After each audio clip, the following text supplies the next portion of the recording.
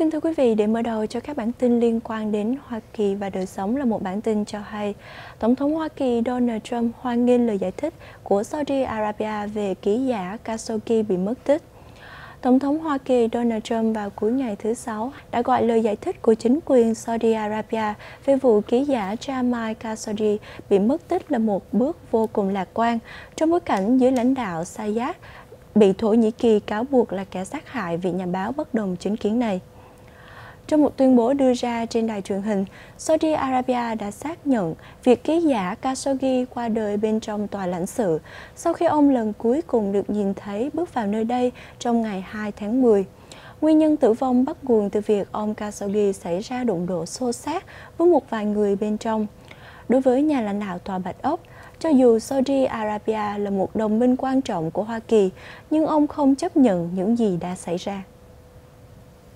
Thưa quý vị, một người đàn ông ở New York bị truy tố vì tội đe dọa các thượng nghị sĩ ủng hộ cho thẩm phán Kavanaugh. Một vài thượng nghị sĩ trong suốt thời gian qua đã liên tục bị đe dọa chỉ vì họ có chủ trương ủng hộ thẩm phán tối cao Pháp viện vừa mới tuyên thệ nhậm chức Brett Kavanaugh. Truyền thông quốc gia cho biết nghi phạm Bronner Darcy, một cư dân ở tiểu bang New York, đã bị các công tố viên liên bang truy tố tội danh hình sự sau khi lên kế hoạch sát hại hai vị thượng nghị sĩ không được tiết lộ danh tính trong Quốc hội Hoa Kỳ. Theo lời công tố viện quốc gia, đương sự Derisi đã bắt đầu gửi tin nhắn, hăm dọa tới các vị thượng nghị sĩ vào ngày 27 tháng 9, tức là ngày ông Kavanaugh và phía nguyên đơn ra điều trần trước Ủy ban Tư pháp của Thượng viện Washington. Trong lời khai đưa ra tại sở cảnh sát, Derisi cho biết ông không hề nhớ việc bản thân đã gọi điện thoại hăm dọa.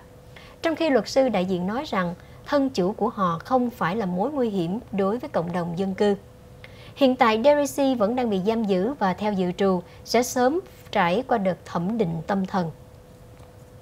Kính thưa quý vị, tiểu bang California đã bắt giữ 45 thành viên băng đảng. Có hơn 40 thành viên băng đảng đã bị bắt giữ trong chiến dịch truy quét tội phạm trên khắp các ngã đường ra vào tiểu bang California. Ngoài ra, giới chức trách còn tịch thu khoảng 60 khẩu súng và nhiều món vũ khí mang tính sát thương cao tại nơi ẩn náu của các đương sự này. Cảnh sát cho biết nếu như rơi vào tay của người xấu, số vũ khí này có thể sẽ cướp đi sinh mạng của rất nhiều người. Vụ bố ráp đã được tiến hành vào thứ Năm ngày 18 tháng 10 trong khu vực Riverside, nối theo sau cuộc điều tra kéo dài suốt 6 tháng. Hầu hết các nghi phạm đều là người Hispanic, nhưng các nhân viên điều tra không tiết lộ băng đảng nào đã bị đẩy lùi trong chiến dịch này. Mỗi người trong số họ đang phải đối mặt với các tội danh từ sát nhân đến cướp bóc, cũng như buôn lậu ma túy, vũ khí và buôn lậu người.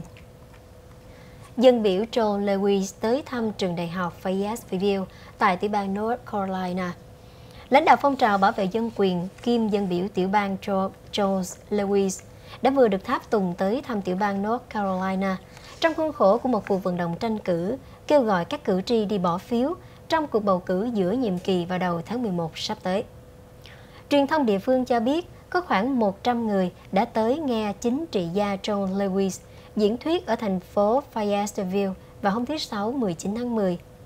Được biết vào hồi đầu tuần, trong cuộc tranh luận do Spectrum News bảo trợ, ứng cử viên thuộc đảng Dân Chủ Dan McCready đã đối đầu với đối thủ thuộc đảng Cộng hòa Mark Harris. Hai nhân vật này đang tranh nhau chạy đua vào vị trí dân biểu địa hạt chính. Cuộc bầu cử giữa nhiệm kỳ lần này đang rất gây cấn do khoảng cách giữa đảng Cộng hòa và Dân chủ đang rất suýt sao. Kính thưa quý vị, hoạt động virus cúm đang ở mức thấp nhất trên toàn cõi Hoa Kỳ. Mùa cúm năm nay, Hoa Kỳ lại không mấy khắc nghiệt như những năm trước. Thể theo báo cáo cơ quan phòng chống và phòng ngừa dịch bệnh CDC, Hoạt động của virus cúm tính đến thời điểm hiện tại đang ở mức thấp nhất tại 49 tiểu bang trên toàn quốc, cũng như vùng District of Columbia và New York City. Tính đến nay, chỉ có một trẻ em qua đời vì bệnh cúm tại tiểu bang Florida. Đối với những người cao tuổi, cơ quan CDC tính chung các trường hợp tử vong dựa trên bệnh viêm phổi và lây virus influenza trong tuần lễ đầu tiên của tháng 10, có 5,6% các trường hợp tử vong do bệnh cúm qua đời vì biến chứng của viêm phổi, thấp hơn mức này ở năm ngoái. Bộ Y tế Hoa Kỳ khuyến cáo người dân trên toàn quốc nên đi chích ngừa phòng cúm để hệ miễn dịch trong cơ thể có đủ khả năng chống chọi với lại loại virus này. Thưa quý vị, thói quen không tập thể thao là một sai lầm lớn đối với sức khỏe. Một cuộc nghiên cứu mới đây cho thấy không chỉ giúp cho thân hình thon gọn, thói quen tập thể thao đều đặn còn giúp kéo dài tuổi thọ của con người. Những ai có thói quen sống thụ động đang đứng trước nguy cơ chết sớm cao hơn đến 500% so với những người xuyên tập thể thao. Nhiều người cho rằng chỉ cần không hút thuốc lá hoặc tránh xa những thực phẩm nhiều dầu mỡ, họ sẽ có một sức khỏe lý tưởng. Tuy nhiên, không mấy ai chịu thừa nhận việc siêng năng tập thể thao cũng đóng vai trò quan trọng, giúp cho chúng ta có một cuộc sống lâu dài. Kết quả của cuộc khảo sát đăng trên tạp chí y khoa Journal JAMA New World cho thấy, thói quen lười vận động còn nguy hiểm hơn cả việc hút thuốc, bệnh tiểu đường và các vấn đề liên quan tới tim mạch. Trong số 122.000 bệnh nhân tham gia nghiên cứu, những người lười đi stream out có nguy cơ chết sớm hơn cả những bệnh nhân lọc thận. Do đó, hãy tập làm quen với thể thao bất kể quý vị đang ở giai đoạn nào trong cuộc đời. Quý vị vẫn đang theo dõi phần tin buổi tối cùng với Gia Ân và Thi Nhung.